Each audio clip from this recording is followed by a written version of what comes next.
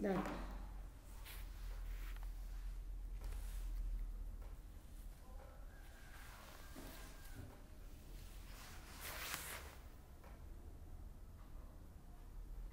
Nào cái này là cái gì? Em học từ nào? Traffic light này giao thông phía trước cái gì? Ờ, xem nào. Ok. Thế biển này là biển gì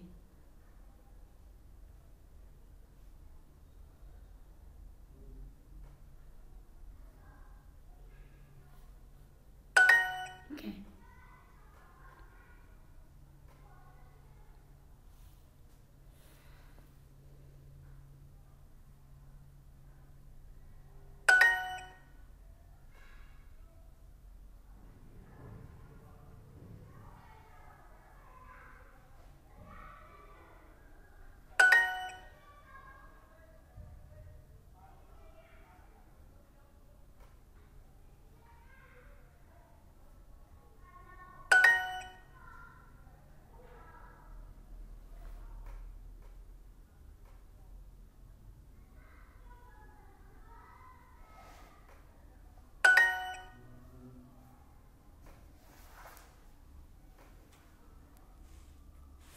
đấy xong dựng xem có nhớ những từ đấy không?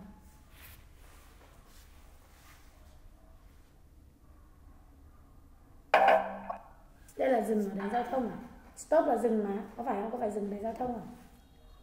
Đây là đèn giao thông phía trước chứ chưa? Là có đèn giao thông ở phía trước. Có cái biển như này là trước đấy sẽ có sau đó sẽ có biển giao thông. Người ta báo trước ấy để mình biết rồi. Ồ oh, đây là gì? Đây là biển gì? No entry là không được vào được chưa? Không có lối vào thì mới có một cái biển. Như thế là không có lối vào.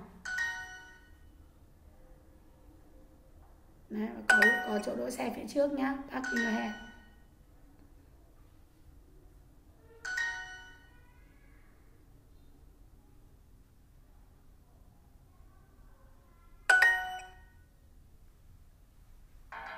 Vậy là sau khi đã biết đến từ vựng này chúng ta xem là bài học. Chúng ta sẽ còn học cái gì nữa nào? Bài học tổng hợp từ vựng đây, em lại tổng hợp từ vựng xem. Có nhiều từ em không biết đúng không? Ví dụ như đây này. Group là gì đã biết chưa? Chưa biết thì ghi đi. Group. Nào, ghi tiếp nào. Còn nhiều từ vựng lắm. Group là mái nhà. Group là mái nhà hoặc là mái nóc xe mái nhà nào là nóc xe đều là roof helmet là mũ bảo hiểm helmet là mũ bảo hiểm helicopter là gì? Lúc nãy nói rồi. Helicopter là gì? Đấy lúc nãy em nói rồi đấy thay cho máy bay đấy. Máy bay ừ, vehicle. Vehicle là gì? Vehicle là chính là bằng cái từ traffic là ghi luôn bằng vehicle ở đây. Chính là gì nhỉ? Traffic chính là bằng vehicle đấy bằng traffic nghĩa là giao thông. Vậy bây giờ là từ loại gì sẽ điền vào đây? Rốt là mái nhà nóc xe. Roof là mái nhà nóc xe helmet là mũ bảo hiểm. Và chúng ta có một phần kiến thức ngữ pháp đó là used to be nghĩa là đã từng có ít người và ít gì ở trên đường? Ít người và ít gì ở trên đường? Ít người và ít gì em?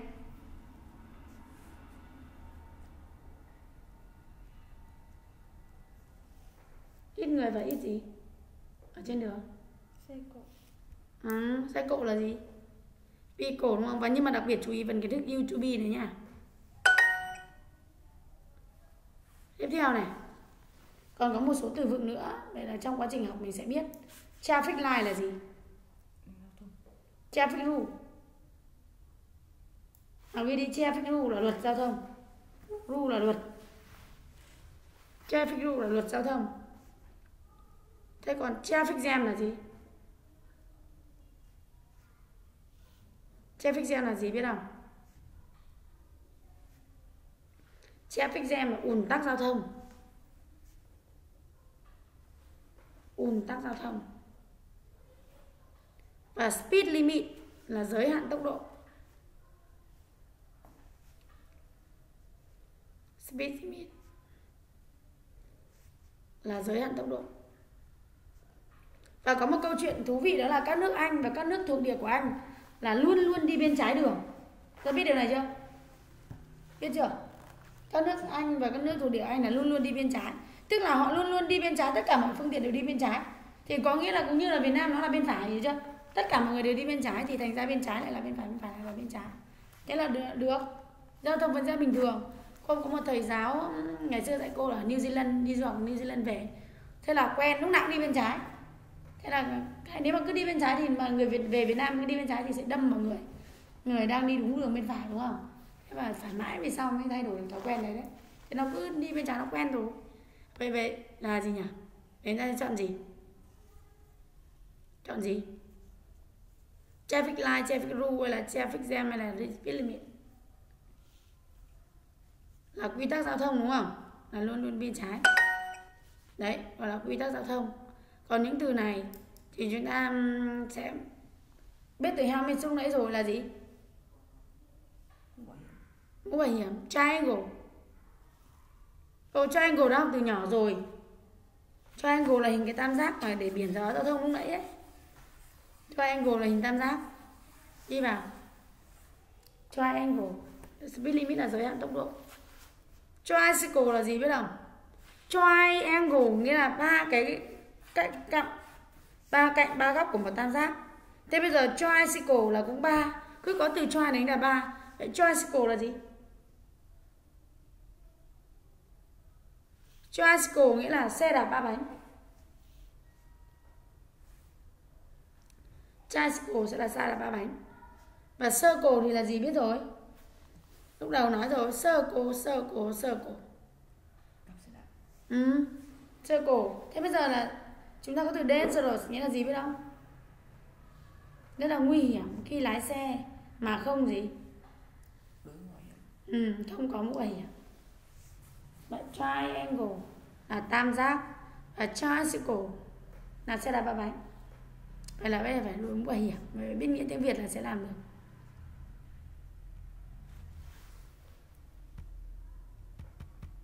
Ừ. à chưa chọn. Without a helmet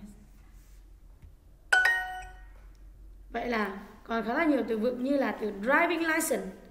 Nào, vậy chúng ta có từ driving license là bằng lái xe bằng lái xe. Nào ghi đi. Bằng lái xe. Bằng lái xe. Bằng lái xe. Lên là gì lúc nãy nói rồi? Lên là gì? Lên là gì? Làn đường. Lên là làn. Đấy Việt Nam mình lấy đấy. Còn pavement là vỉa hè pavement là vỉa hè. Pavement là vỉa hè.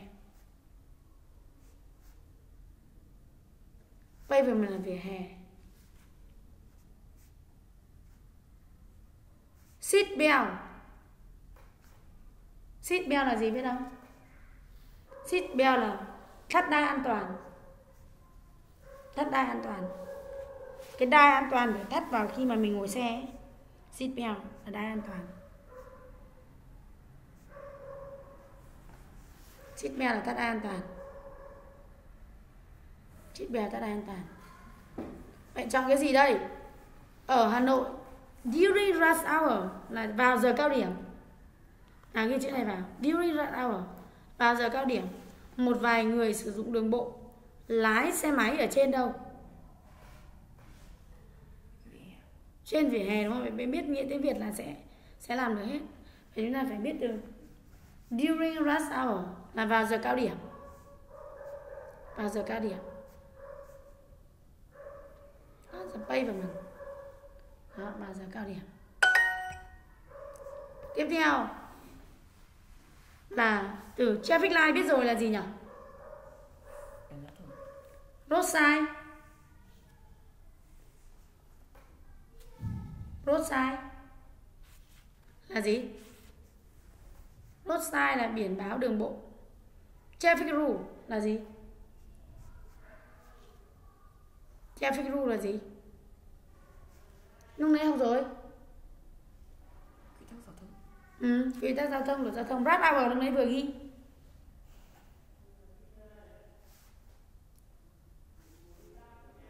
Phải chọn cái gì đây? Traffic is terrible during the rush hour đúng không? Rồi vậy mình chỉ nhớ từ rush hour là vào giờ cao điểm nhá. Mình mình mấy từ đấy ghi rồi, mình mới ghi hết rồi là là là được. Và nói đến là 40 km h và 60 km h là vùng nội, ngoại ô và 40 km h là trong thị trấn. Vậy, chọn từ nào đây? Tất cả những từ này biết rồi speed limit. Limit, em ơi limit nghĩa là ấy. limit là hạn chế tốc độ.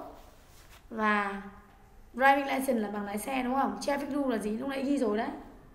Traffic light là gì?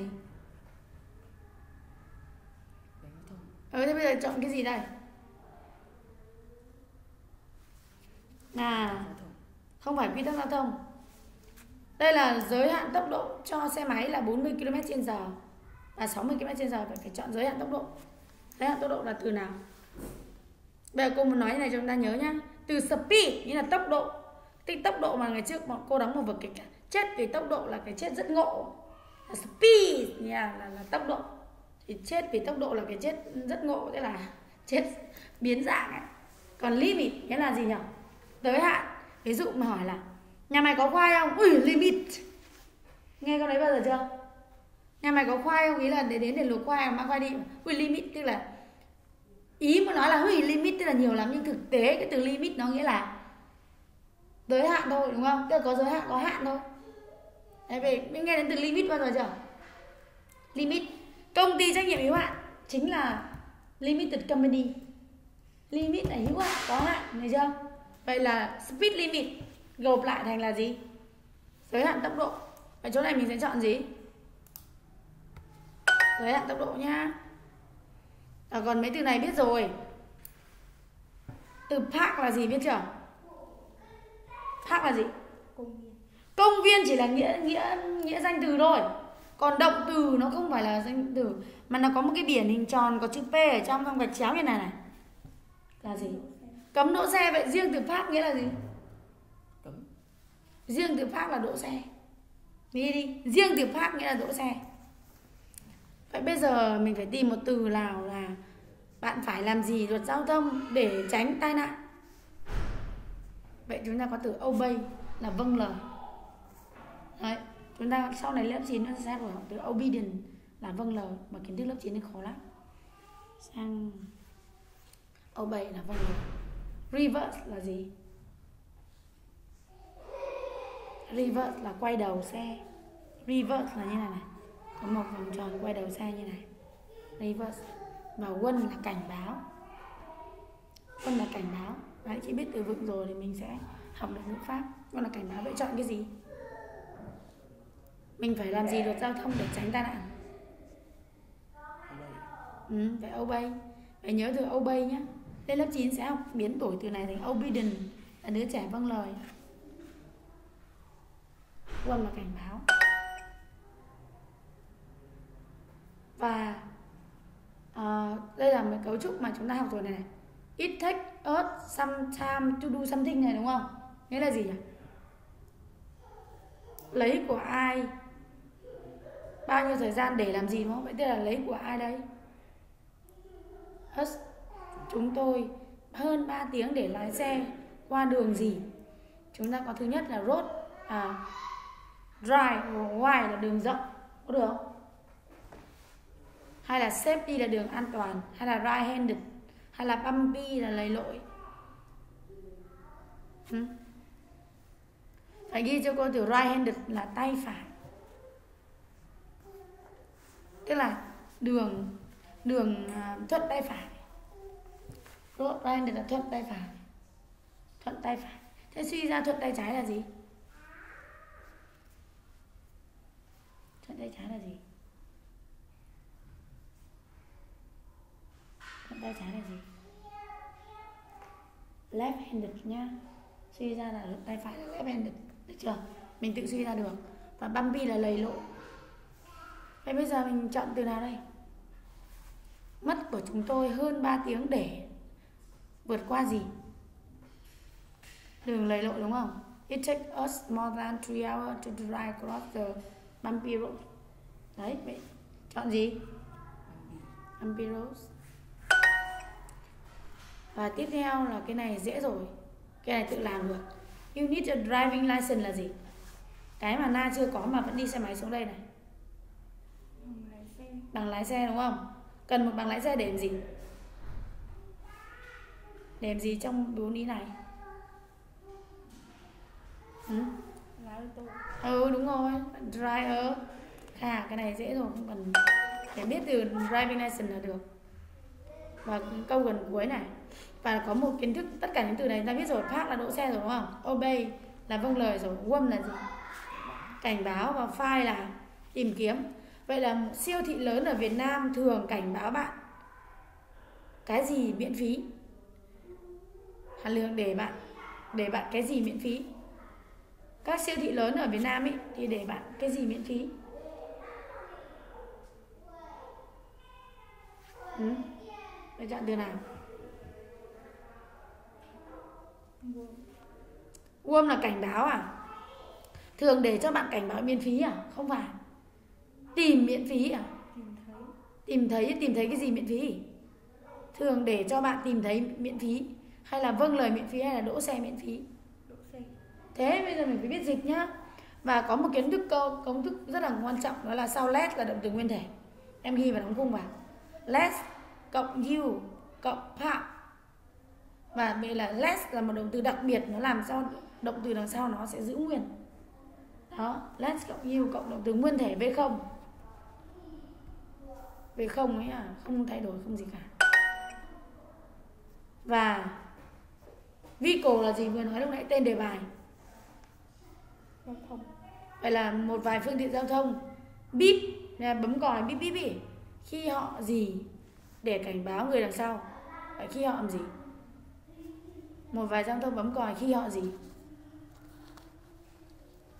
Ừ? khi họ làm gì phải cảnh báo người đằng sau biết? Right được không? khi họ lái xe được không? Quay xe. quay xe gì? Quay xe là phải cảnh báo cho người ta biết đúng không? Ok drive và sale thì không đúng rồi. Ok để xem nha. Quay trình check quay đầu xe. À, câu cuối cùng này. Gì đây sau khi tan trường trẻ con, làm sao? Làm sao? Queue up ngay từ queue up bao giờ chưa? Queue up là xếp hàng. Queue up là xếp hàng ghi vào. Queue up nhiều người không biết từ này luôn. Trẻ con xếp hàng và đợi xe buýt. Một cách an toàn, ở trên đường, trước cửa trường, trước cổng trường một cách an toàn là từ nào? Safely động từ sẽ đi với safely nhá. Safely là an toàn. Đấy, safely là an toàn. Từ riêng từ safe không cũng là tính từ an toàn. Safely là cũng là trạng từ an toàn và safety là danh từ. Đấy, ghi đi. Safety là danh từ sự an toàn. Đấy, chỉ khác một chữ thôi là nó mang nghĩa là mang từ từ loại khác rồi. Safety là danh từ an toàn. Còn chỗ này mình không thể dùng chữ xếp, cũng không thể dùng xếp ti bởi vì không dùng dùng tính từ danh từ mà dùng trạng từ đi với động từ thường. Bumpy là lấy lỗi thì không đúng rồi. Đấy. Vậy đấy là toàn bộ những từ vựng của bài số 7 mà các em phải thuộc. Nên đến lúc học vào nó sẽ hiểu là từ vựng tổng hợp. Đấy. còn tiếp theo là tổng hợp về ngữ pháp. Nào phần ngữ pháp của bài này chúng ta đã tìm hiểu chưa là học cái gì? Em học phần ông lúc chu chưa? Học về cái gì em? À cái thứ nhất là sử dụng youtube. À các em ghi đi. Youtube.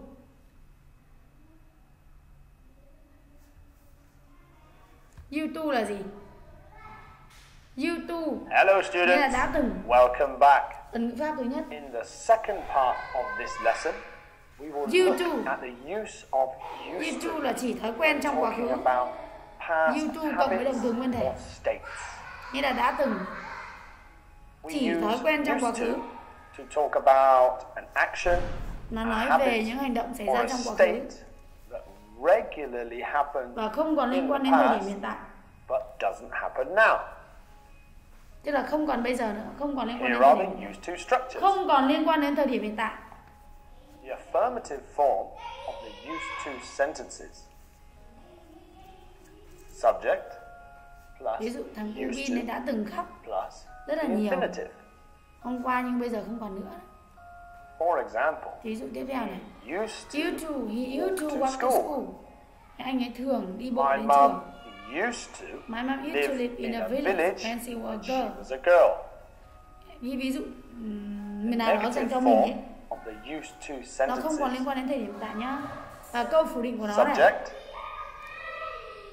Câu phủ định của nó sẽ là bình thường chủ ngữ là I, you, we, they và tất cả các chủ ngữ mình chỉ cần ghi chủ ngữ thôi. Sau đó cộng với lại gì nhỉ? Bình thường sẽ là you, the, to cộng động từ nguyên thể với không? Thế câu phủ định của nó sẽ là did not hoặc là đất đình cộng cộng YouTube cái này dễ hiểu thôi, đúng không? Bởi vì YouTube cộng động từ nguyên thể với không. Và đây là công thức câu phủ định đấy chủ ngữ cộng đất đình cộng với lại you là chủ cộng động từ nguyên thể với không.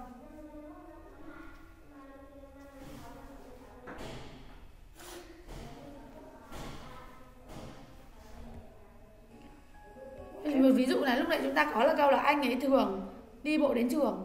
Thế bây giờ chúng ta làm một câu là anh ấy à anh ấy đã từng đi bộ đến trường, bây giờ mình làm một câu là anh ấy chưa từng đi bộ đến trường thì viết nhỉ? ờ viết ví dụ câu phủ định ra. Là câu khẳng định thì chắc là dễ rồi. He used go to school.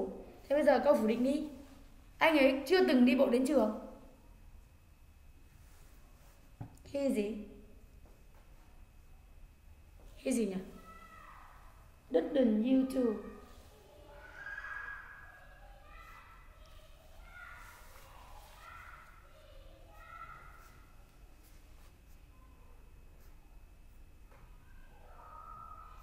đến đi bộ là gì? On foot. On foot để cuối cùng. Nếu như em dùng cái này. Còn dùng từ walk to school nữa ý on foot. Còn ở trong nãy là người ta dùng cho từ walk to school mà. used to and the infinitive. phi mình thấy phải không này For example, đấy didn't you to walk to school. Tại sao không dùng câu này. đi vào đi để có nhiều vốn từ hơn. to school. didn't you to walk to school. There didn't On used to foot. be so many vehicles on the roads before. The interrogative còn câu hỏi thì như nào? did câu hỏi là đảo gì nhỉ? subject đảo đứt lên trước chủ ngữ thôi. to có dễ không? plus the Em mình hiểu infinitive. rồi đúng không? Hỏi thì đảo đứt lên trước chủ ngữ thôi. Đứt Yes, cộng chủ ngữ cộng you to did. cộng động từ nguyên thể là được mình tự suy ra được No, à trả lời là subject yes. didn't. yes chủ ngữ cộng đứt và no cộng chủ ngữ cộng đứt đừng vậy em để chú ý chỗ này nhá. Khi người ta đã dùng đứt thì câu trả lời của mình sẽ là yes cộng chủ ngữ cộng đứt hoặc là no chủ ngữ cộng đứt đừng khi người ta dùng have đằng trước khi nó là trợ động từ đúng không? Thì phải trả lời yes I have và no I haven't nữa chưa chứ không được dùng với em là haven't you đâu em phải hiểu rõ chỗ này đã đấy vậy công thức là như thế no còn chủ ngữ đứt đình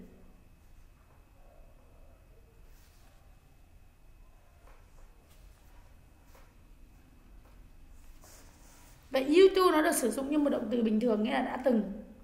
Và didn't you to thì là chưa từng. Và câu hỏi là bạn đã từng chưa?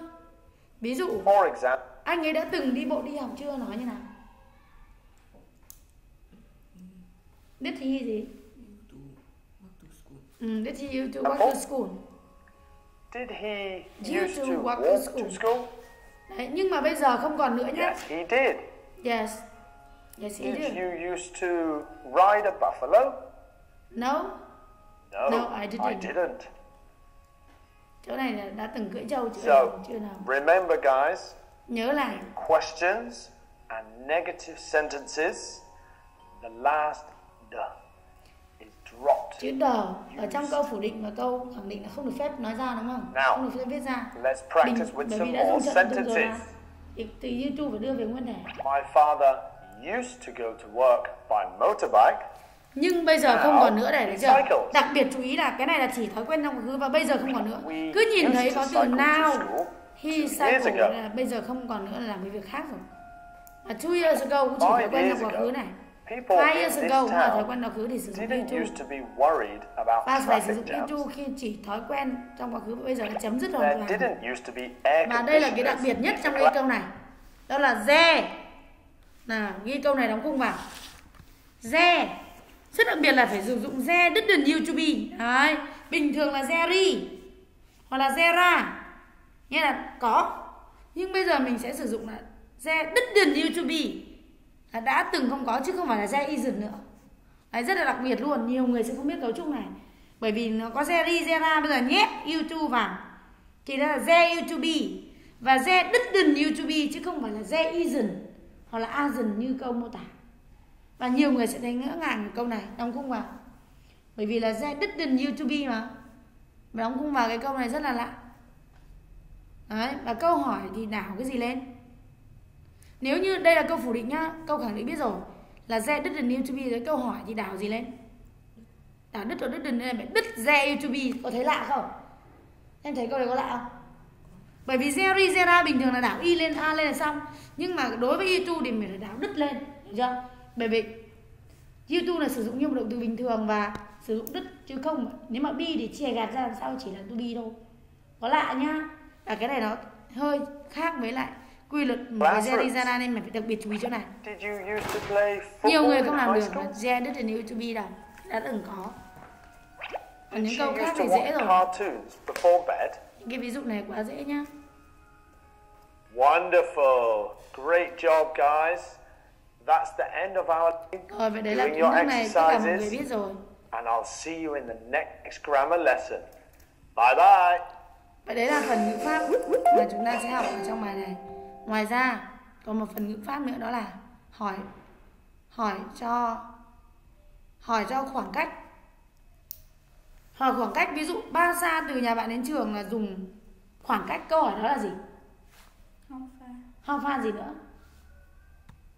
How far thôi chưa đủ. Nào hỏi khoảng cách từ nhà đến trường là gì? Bao xa từ nhà bạn đến trường? How far gì? Hello, everyone. How are you today? Nào. Me too. In this unit, we will go through two grammar points. First, we will look at it when it Đấy. indicates Phải có dùng từ ít. Bao xa từ nhà bạn đến trường mình dùng chủ ngữ giả là ít. Then we will look at used to when talking about past habits or Right. states. First, let's look at it indicating distance. À, ít là dùng để thay cho khoảng it cách. Và sẽ trả lời là how far họ hỏi là how far is it và trả lời là ít nói về khoảng it cách. is used to answer questions Đấy, sử dụng ít để trả lời cho hỏi how far. Đấy em ghi câu hỏi how far đi. How far là bao xa? Bằng ngữ pháp thứ hai. How far is it How far is it from A to B? to B? Hãy ghi cả cấu trúc. How far is it from A to B? It is about plus distance plus from A. Bao xa từ nhà bạn đến trường sẽ là How far is it from your house For to example, school? how far is it Đây, how far is it from your house? Mình to the bus stop cũng được hoặc to school cũng được. How far is it from your house to the bus stop?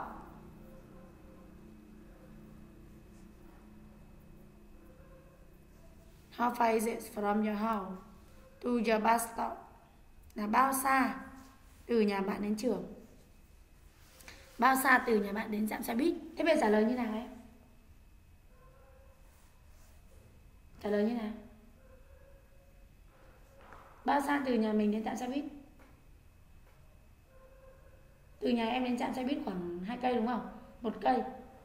Nhà cô khoảng 2 cây, vậy trả lời như nào? 2 km. Trả lời như nào em? How far is this? From your house to the bus stop.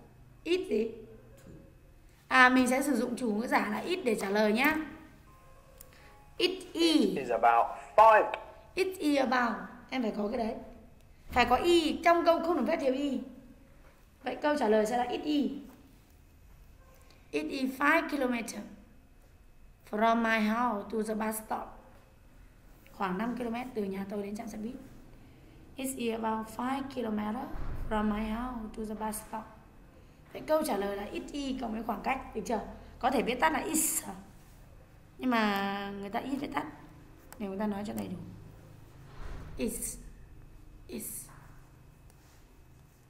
5 km from my house to the bus stop.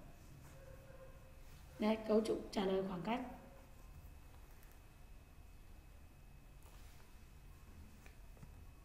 Kilometers from my house to the bus stop.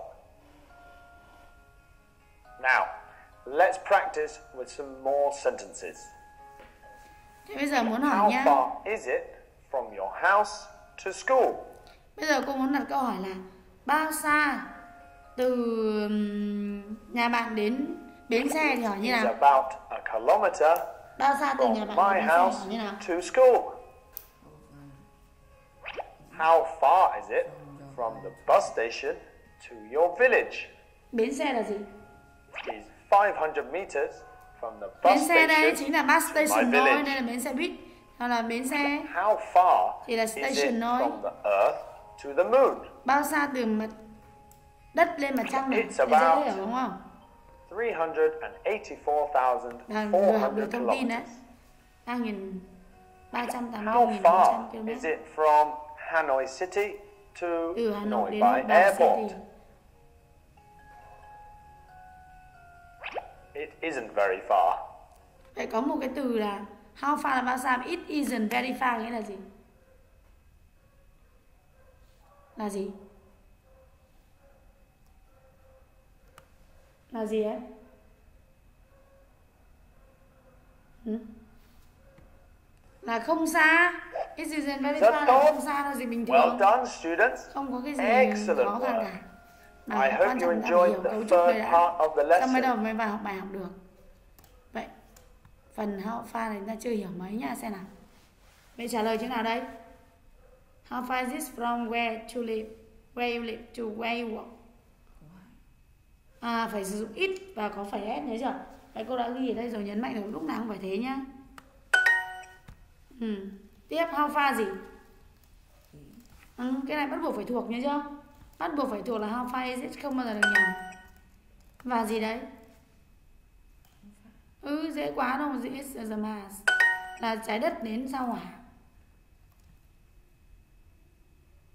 Ui lại dễ quá đúng không? Cái này nhắm mắt cũng phải làm được, rất là dễ rồi. Tiếp. How far is it? Cái gì?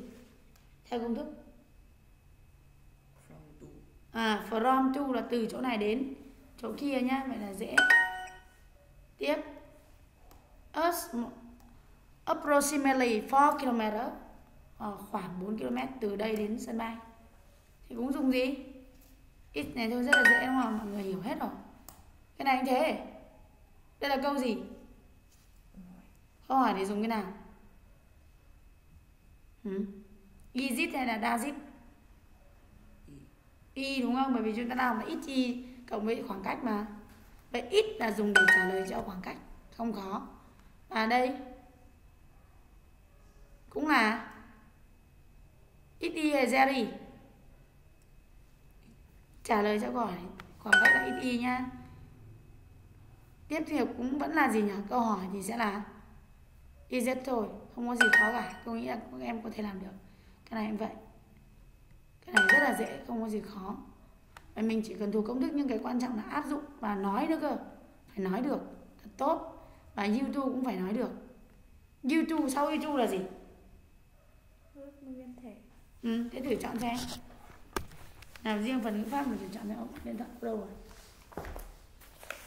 Ừ. Điện thoại cô đâu rồi? Ừ. YouTube bọn đồng từng quân này.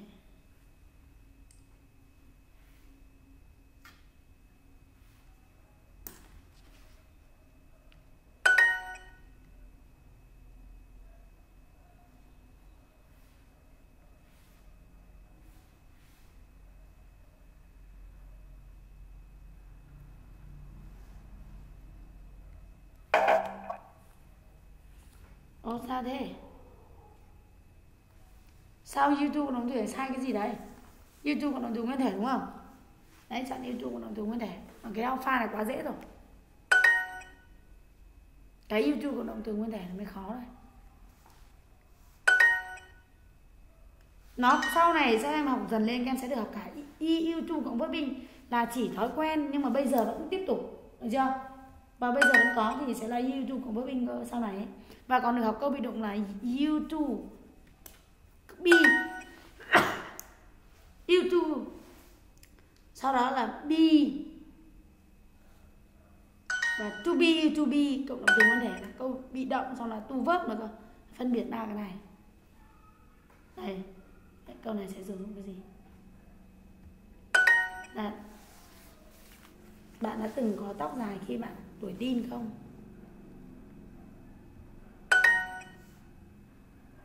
Sai rồi, công thức vừa ghi mà. Đức yu chu đúng không? Đức yu chu đúng từ quan thể mà.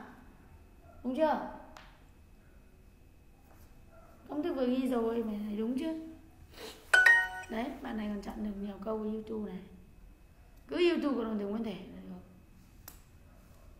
À bây giờ không còn nữa bạn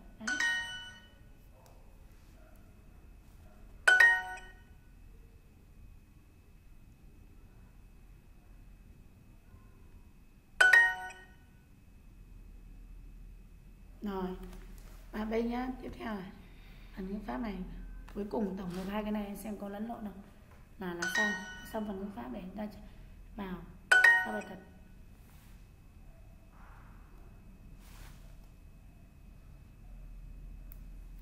Walk through là gì? Walk through là đi bộ xuyên qua.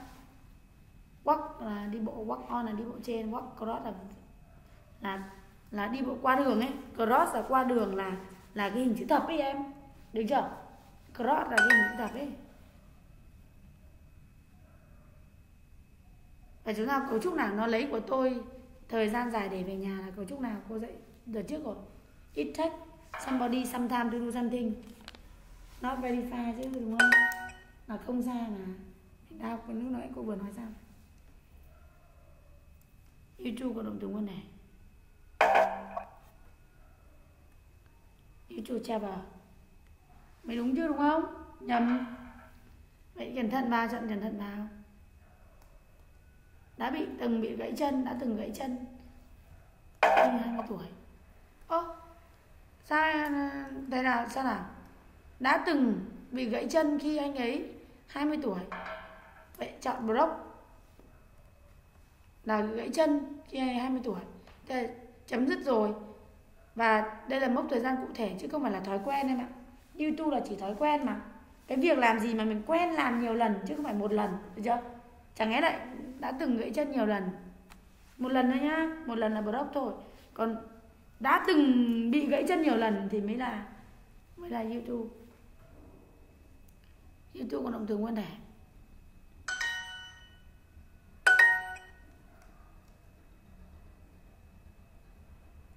À có cấu trúc a youtube này lại khác nha. Không, a youtube này lại khác đấy. Nhờ những cô gái thành phố thì thường là thường là gì nhỉ? Những cô gái ở thành phố này thường là gì? Quen làm việc ở cánh đồng. Chỉ thói quen này là to be youtube bằng vấp in nhá. Đây đã từng có này, cấu trúc vừa cho ghi này đã từng có một sạn xe buýt ở đây 30 năm trước, nó được đã xây dựng khi nào?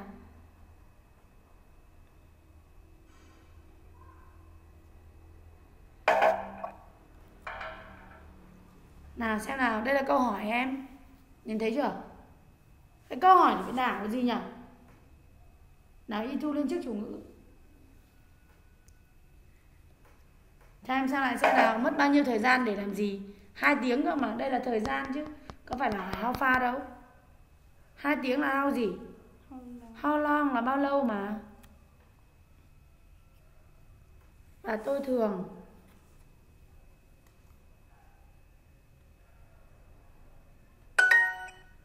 Tôi đã từng thích nào lại thiếu rồi lại thiếu youtube đúng không? Không có youtube của đồng từ nguyên thể thì em sao chọn được? Thế thì em phải chọn là tôi đã từng quen sống ở Jakarta và tôi sống ở đây cả cuộc đời tôi tức là bây giờ vẫn còn sống. Tức là không phải chỉ thói quen trong quá khứ và bây giờ chấm dứt. Mà bây giờ vẫn thế thì mình sẽ sử dụng. Nào ghi vào đi. To be you to cộng với mình. To be you to cộng với mình là chỉ quen với việc gì ở hiện tại. Cô tại sao lại sai? to be you to cộng với mình là chỉ quen với việc gì ở hiện tại. Và câu này là khi em bé tôi còn nhỏ thì nó chưa từng ăn pizza. Thế thì sai này từ y là đúng, bởi vì khi em gái tôi còn nhỏ, bây giờ nó lớn rồi, thì khi còn nhỏ là quá khứ. Mà đứt đần yêu chu là chỉ thói quen trong quá khứ, thì phải đi về quá khứ. Hiểu chưa? Và hiện tại đi với hiện tại và chu bi, chu bước in là chỉ quen với việc gì ở hiện tại. Nghĩa là quen với việc gì ở hiện tại. Nó khác nhau nhá đã từng làm gì trong quá khứ, chấm dứt rồi, không liên quan đến hiện tại. Còn cái to be to cũng biết là nó nó vẫn còn đang tiếp tục ở hiện tại. Hiểu chưa? Nó quen với cái việc gì hiện tại, đang tiếp tục ở hiện tại. Khác nhau hoàn toàn, hai cái mảng ngữ pháp này khác nhau hoàn toàn.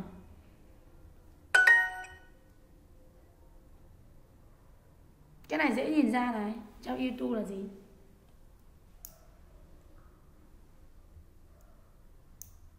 Đấy là cô ấy đã từng làm làm việc như là một giáo viên nhiều năm trước khi cô ấy trở thành một nhà văn. Thế có gì khó đâu. Đấy, xem nào. Đã từng đã từng làm việc như là một giáo viên thì nói như nào? Hay là chưa từng chưa từng là một giáo viên nhiều năm trước khi cô ấy trở thành một nhà văn? Đã từng hay là chưa từng? Hay là chấm dứt rồi? Chấm dứt rồi thì chỉ thói quen thôi, là quá khứ thôi. Cô ấy đã làm việc như một nhà văn trong nhiều năm. Trước khi cô ấy trở thành giáo viên thì chỉ dùng quá khứ thôi, bởi vì nó không phải chỉ thói quen, đúng không? Làm làm việc như là một giáo viên thì không phải là chỉ thói quen, mà chỉ một sự thật hiển nhiên thôi. Em chịu quá khứ thôi.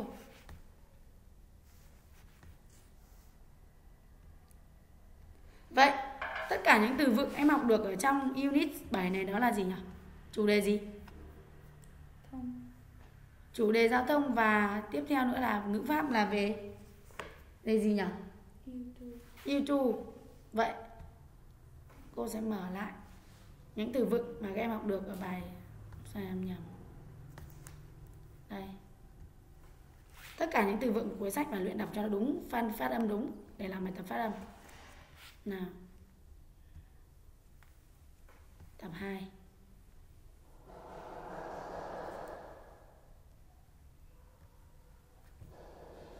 là những từ vựng cần phải biết là những từ vựng dưới đây? Lúc nãy ờ, nói rồi bây giờ ôn lại một lần thôi. Đó là boat thì biết rồi đúng không? Tự đọc xem nào. Đọc đúng nhá. Boat, đấy đọc circle, đi. Đọc theo. Fly, fly. Vừa bay vừa lái máy bay vừa bay máy bay. helicopter, helicopter là máy bay trực thăng biết rồi. Illegal, illegal là bất hợp pháp. Nghe từ này bao giờ chưa? Park, hôm trước nghe rồi phải và le- legal không là một hợp pháp. Pavement, pavement là vỉa hè. Plane, prohibitive, prohibitive. Từ này em chưa biết này. Prohibitive là cấm. Railway nhưng mà trong sách sẽ có. Đây prohibitive. Reverse, không cần phải ghi vào đây ghi tiếp vào đây này. Bởi vì road nó là những từ khó hơn mức độ traffic cao hơn. sign,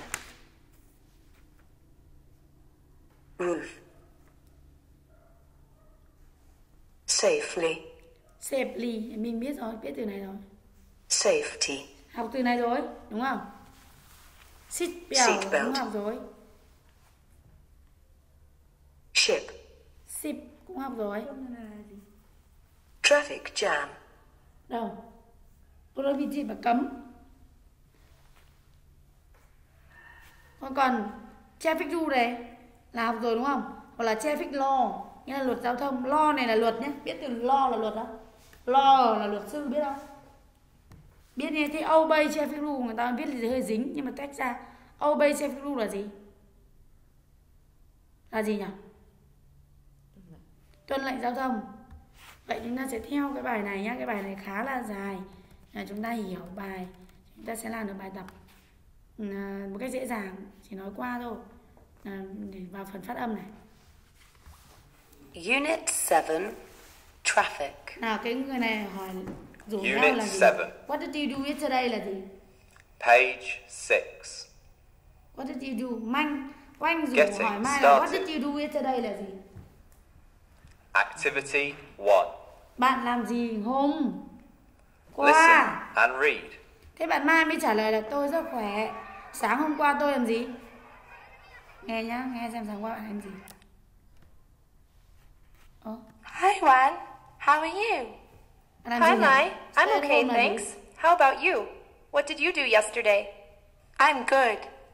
Yesterday morning, I stayed at home Tôi and nhà. played with my brother. Ở nhà và In chơi với I anh trai và buổi chiều thì đạp xe quanh hồ. Oh, good. That sounds really healthy. By the way, how do you come to school? My dad usually drives me to school. I used to go on foot when I was in primary school, but the new school's too far to walk now. How far is it from your house to here? how far is it from It's about two kilometers. How long does it take you? About 10 minutes. Sometimes, when there are traffic jams, Traffic it jam takes longer. Do you come by car every Traffic jam là day? Yes, Thấy vừa có này. except when my dad is busy. Then I come by bike. I see.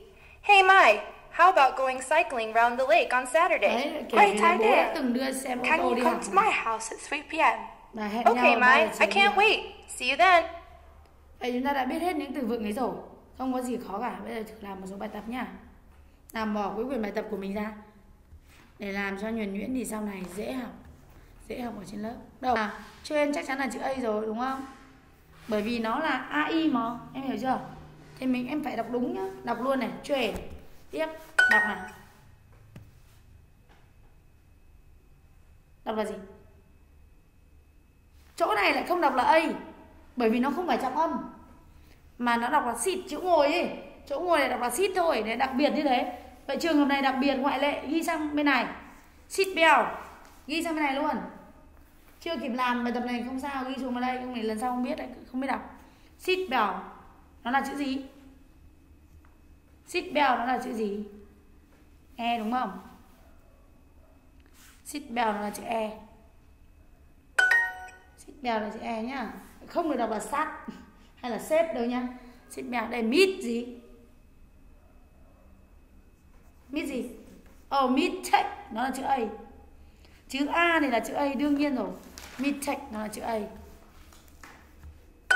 làm tập âm cho chúng chính xác. Tiếp theo. Cái này. Đọc là gì em?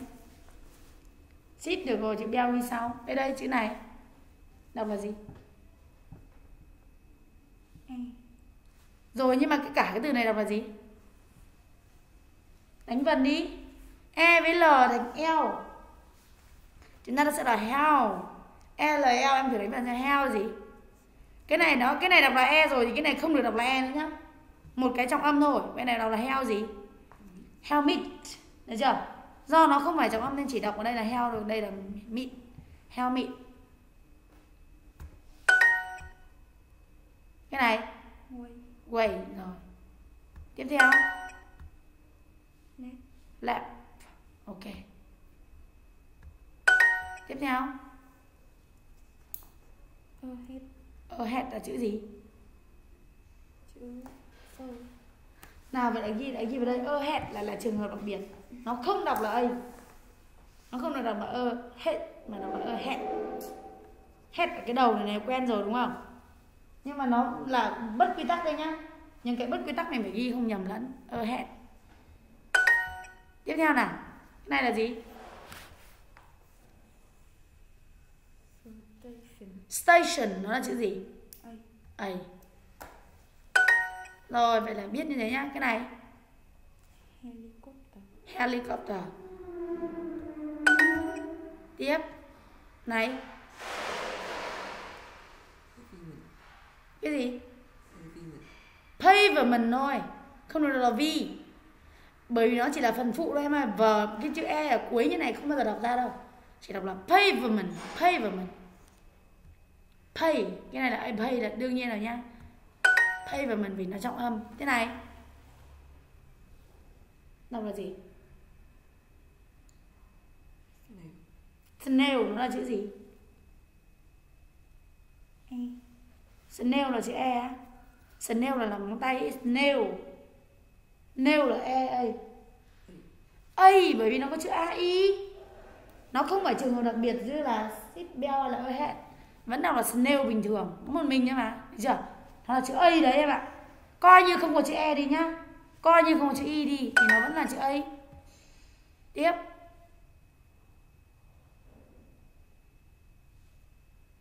Đọc là gì? Gì? Safety về nó là chữ gì? Chữ gì? A hay e? A nhá, bởi vì a để trả a.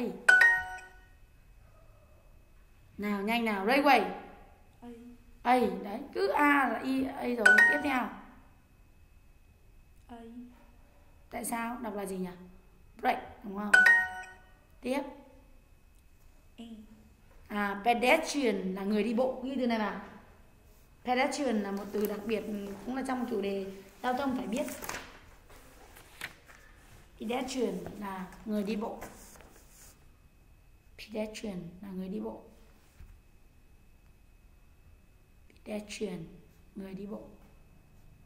À, hôm nọ musician mà lại thiếu mất chữ i với an nhỉ? Viết mỗi an không cái gì. Làm gì có từ nào mà kết thúc ở cuối là mỗi an không như thế? Đuôi chỉ người bao giờ không phải là si xong mà an nhá. Xiển nhớ chưa? Không bao giờ có điện cần như thế đâu nhớ chưa? Phải nhớ nhá từ lần sau đừng mắc phải những lỗi sai như thế. Nhiều người thiếu chữ y đó cái này. Từ này quen thuộc rồi healthy đấy nó lại là chữ e đúng không? Và tùy từng chữ và phải mình phải nhớ chứ không có quy luật gì mấy. Cái này. Đấy. Đây rồi nha tiếp. A, great là chữ A đấy. Từ này là quen thuộc là great. Great là tuyệt vời. Cuối cùng. Records. Ok. Records. Record là ghi âm biết rồi đúng không? Bạn ghi âm. Đây cuối cùng đây. A. set. Hay là set? Set á. Mình thường nói chia từ say là quá khứ nhá. Chia sang quá khứ là gì?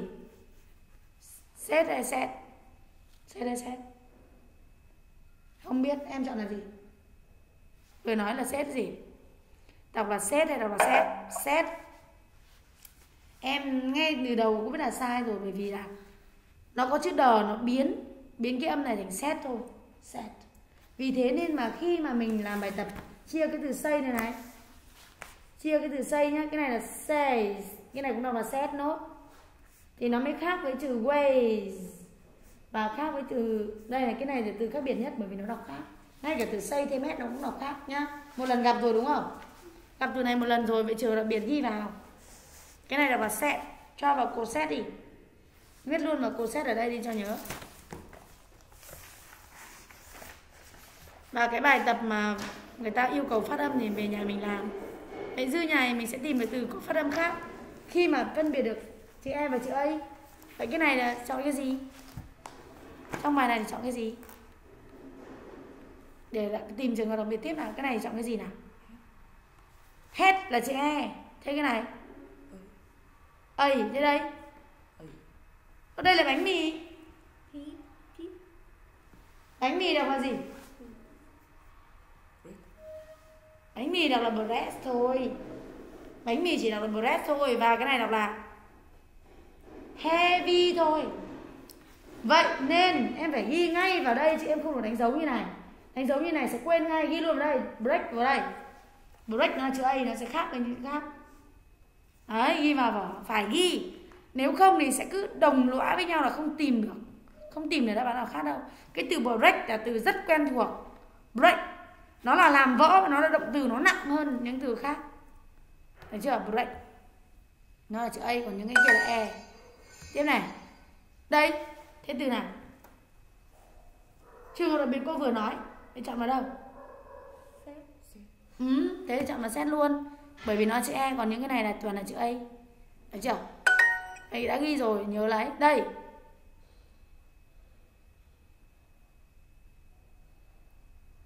Chọn từ nào? Kem nó cũng là chữ A đấy em ạ. Ghi vào. Kem nó cũng là chữ A bình thường. Không được đọc là không được đọc là kem nghe em đâu Nó là A mà. Kem Thế đây Station nó là chữ A đây. Lake là hồ Nó là chữ gì? A. Thế bây giờ chọn vào đâu? Cái này là gì? Bật, ấn vào nút bắt đầu là nút gì? Ừ. Start là bắt đầu đúng không? Biết từ này chưa? Biết rồi thì phải biết từ start chứ Nó đi với R nó phải khác chứ. Đúng chưa? Thấy chưa? Vậy là khi mà làm bài tập phát âm Các em không đọc được là còn nhầm lẫn nhiều lắm Từ lệ biết rồi, Vậy là nhớ về Hãy xem lại cái đi còn lại Thế cái này Xem là chọn được không? Nếu không biết đọc thì xem có chọn được không? Chọn ý nào?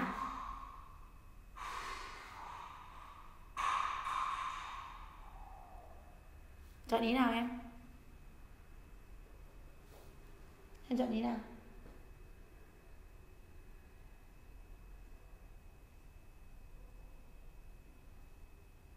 Chọn ý nào để đọc từ tiếng Anh cho đúng nào? Cái gì? Cái này cô đọc một lần nhá. Ancient, radio, nature, village. cái cuối Tại sao? À bởi vì nó đứng cuối thì nó nó không phải trọng âm, nó không được đọc là A. Những cái này này đứng đầu này, nó mới đọc là A. Em hiểu không? Tại vì vị trí nó cũng là quyết định xem từ đấy là cái này village đọc là Y. Còn cái này là nature, radio và ancient. Ancient nó là chữ A và đọc nhanh thành ancient thôi. Giờ ancient. Vậy ghi vào đây ancient vào đây không đến lúc sau này gặp từ ancient thì không biết đọc đâu. Ancient. ancient đấy và cái cái này phải cẩm nang của mình mình mang đi suốt ancient radio đương nhiên là nature đương nhiên là ancient nghĩa là cổ xưa phố ancient town là phố cổ hội an đấy và chọn là lịch, bởi vì vị trí nó khác. Tiếp theo, chọn câu này là gì? Ui, dễ quá, cô vừa nói rồi. Cái gì nhỉ?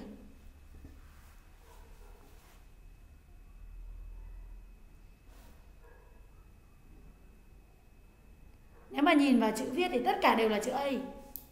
Thế bây giờ cái trường hợp cô, cái này phải cô giáo dạy rồi mới làm được mà, em chọn cái gì? Các em chọn gì?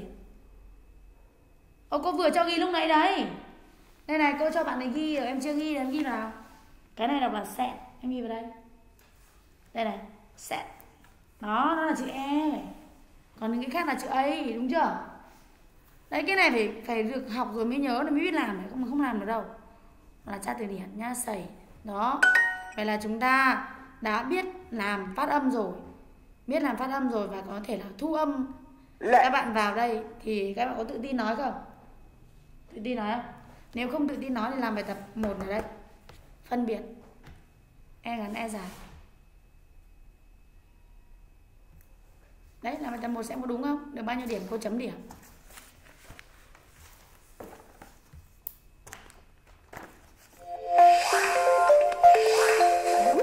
Nghe người ta nói e ngắn e dài như nào. Hi, everybody. Are you all doing well today? It's great to be here on our next pronunciation lesson. Today, let's look at two sounds eh and a. Eh as in left, and a as in break. Are you ready? Let's start. First, let's look at the vowel eh, as in left. To produce this sound, open your jaw and your mouth, but not very wide, like this. Eh.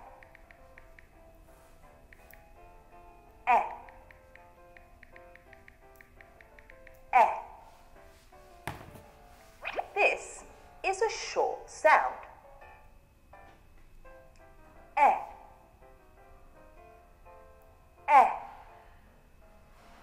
eh, eh. Let's read the eh sound together.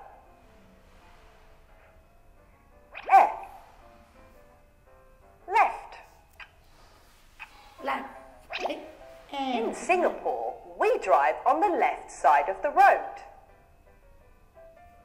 tắm ngôn ngữ tiếng Anh ấy, tập nghe cho Eh. tự chiều tai enter Enter. You can't enter this nếu mà chưa chắc chắn thì đánh dấu đã nhé mình bẩn lắm đánh dấu đánh đánh một chấm vào đã xong chốc là ông khoanh không bẩn lắm. F. Seatbelt. xít bèo này sẽ xít này dài Don't forget to fasten your seatbelt. F.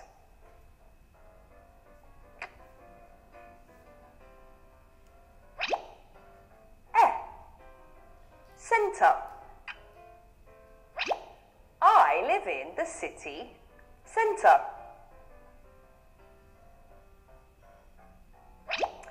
Well done, everyone. Great work so far. Now, let's move on to our next sound. A as in break. This diphthong is the combination of two vowel sounds. Eh and I. First, we make the sound eh. Then we move from sound eh to i by lifting our tongue. Like this. Eh, i. Eh, i.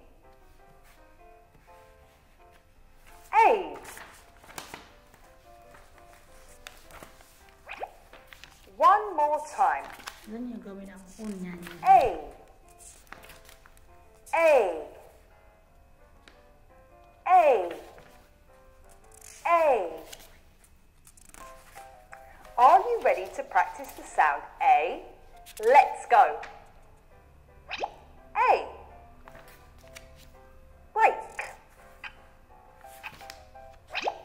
Make sure you don't break the traffic rules.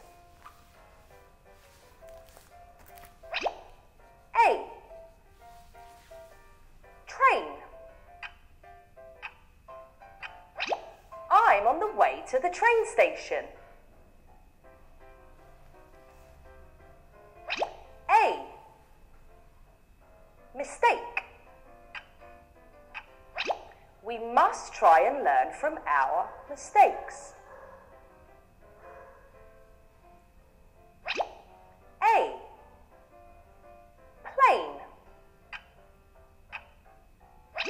The plane is on its way to London.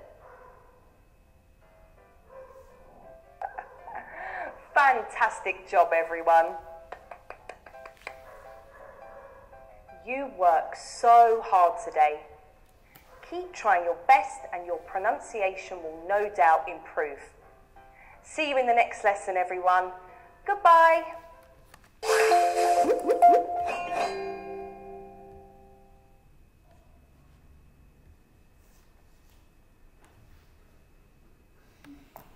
xong chưa bài tập phát âm như nào nhá. Ok. Là rất nhiều các bài thi bài phát âm nữa đây này. Đấy. Chưa xong à? Xong rồi. Đâu? Lúc chờ đợi. Đây em làm để xem này em làm vỏ à, sẽ dừng lại. Em cứ làm cái này đi. Nó cũng thế mà. Chính là những câu trong đây. Rồi trong nữa nha. Cái này trong nữa. Ghi lại để về em. Đây Lúc bạn ấy vào điện thoại em thử vào ra nghe nhá Brittany, could you tell us how you came to be interested in ice skating? nhập với đăng ký Well, I started when I was nhập thì phải very young. luôn một hai My friends all went to thì đăng ký ballet bằng nick của classes, but I wasn't interested in that. When I was four, I watched the ice skating world championships on TV and loved all the fantastic moves the dancers performed. nghe được không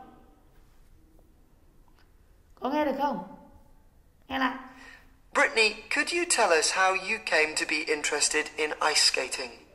Well, I started when I was very young. My không friends all went to ballet classes, but I wasn't interested in that. When I was four. I watched the ice skating world championships on. TV and loved all the fantastic moves the dancers performed. Đấy. Không nghe nghe lại lần nữa để làm câu 2. Nào, ấn vào nghe lại. Luyện nghe mà. What do you do with these bottles? I can make flower vases or lamps from them.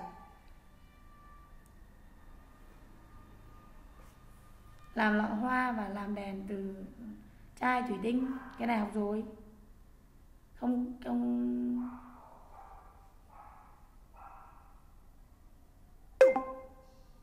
sai rồi là làm lọ hoa và làm đèn từ chai thủy tinh học từ nít một rồi mà nghe tiếp đi What did you get up to on Sunday? I went out for dinner. What did you have? Pizza and salad. Đúng hay sai? Theo em đúng hay sai? Không, em nghe lại. Người ta còn nói là went out for lunch đâu, phải nghe lại chứ. What did you get up to on Sunday? I went out for dinner.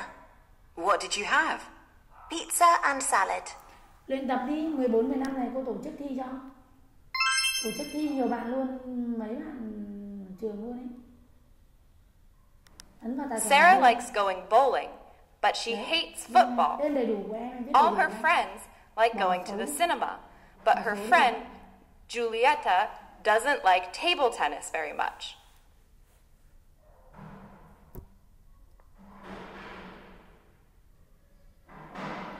Không thích bóng bàn lắm, đúng rồi, đấy, đúng sai biết ngay mà.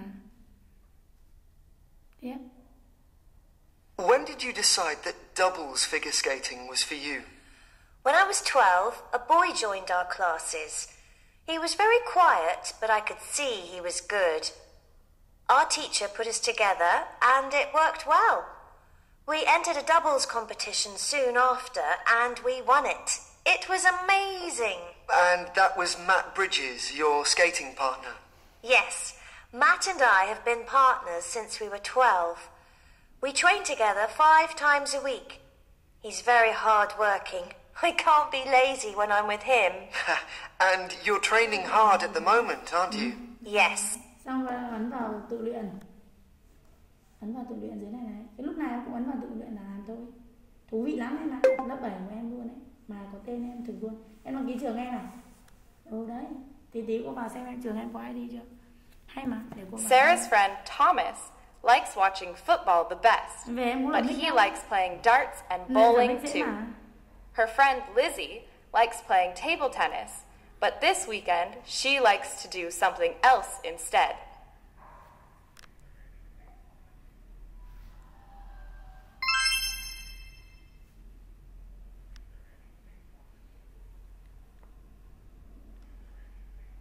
When did you decide that doubles figure skating was for you?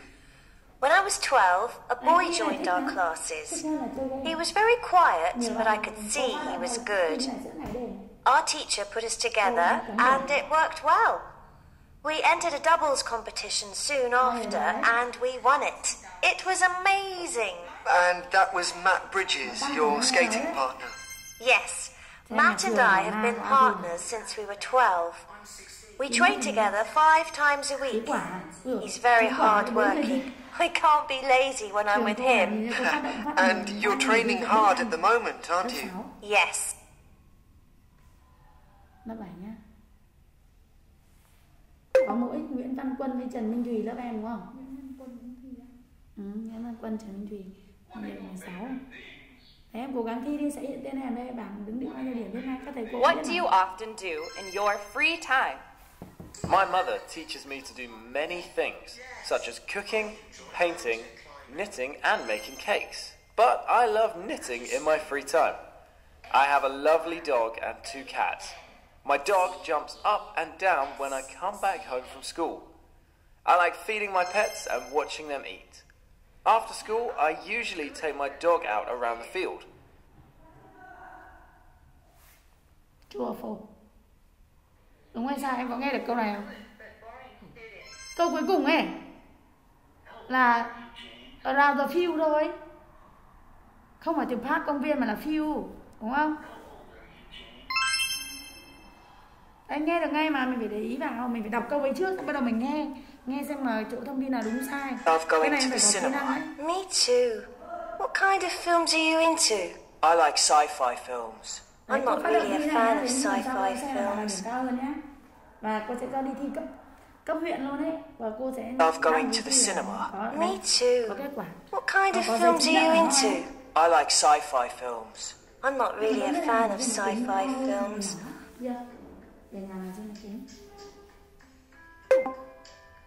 Ôi, lại sai rồi. Nhảy xuống vực là sai đấy. Tiếp đi. Có 10 Did you have a good weekend? Yes, I did. What did you do on Saturday? I went shopping in London. Did you buy anything? Yes, I did. A new coat.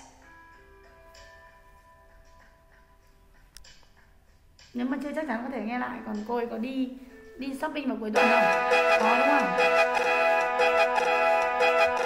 Được rồi, nó bị lỗi một chút không sao Chắc là có ai đó cũng vào thi ở đây Mạng thỉnh thoảng bị thế đấy Như vậy là